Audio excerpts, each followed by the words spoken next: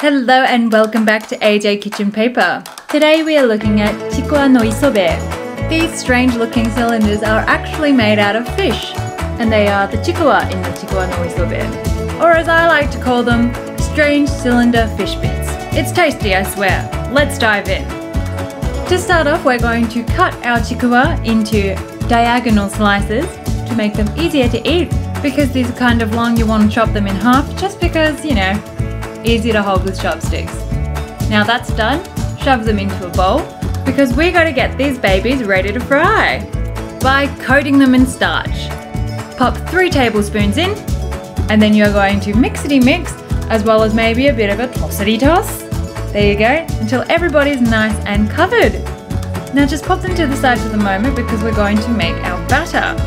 So just quickly in a small bowl, you're going to add 5 tablespoons of flour, a sprinkly sprinkle of aonori or just seaweed, and then 5 tablespoons of water. The aonori just gives us a little bit of saltiness as well as some flavour and a little bit of colour. But if you don't have any handy, you can always use something like parsley. Now give everybody a good mixity mix. Lovely. Now you've got your goopy batter, you're going to put everything into the bowl with your chikuwa. You want to just give them all a big mixity mix to make sure everybody's nice and coated. We're keeping it very clean today with a spoon, not using our hands.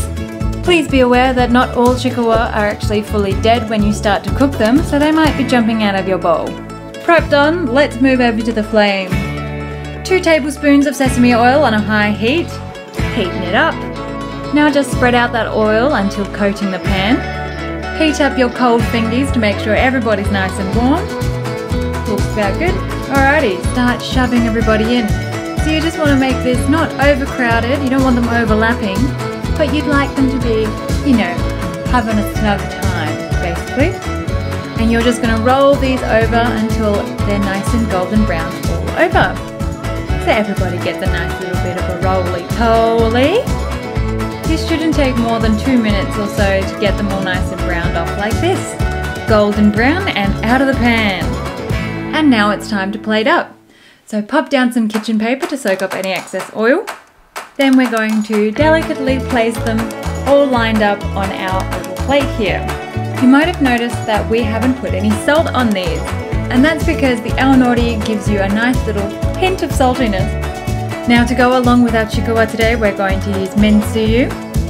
Now this is a concentrated mentsuyu, so we're going to add a little bit of water in to get that thumbnail.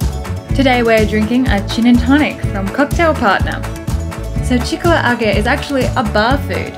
So if you're drinking with friends or even just having a lonely sad beer. So you can add this relatively cheap and actually relatively healthy little dish to spice up any drinking sesh. These are so easy to make that just a word of warning, when you're a little bit tipsy, you might get a bit overconfident with the flame. So just be careful because we are using oil here to cook these. So next time you're lurking around the refrigerated aisle of your local Asian grocery store, maybe just pick up a packet of these and impress your friends or impress yourself. Alright, hope you have a go. Till next time. Almost forgot.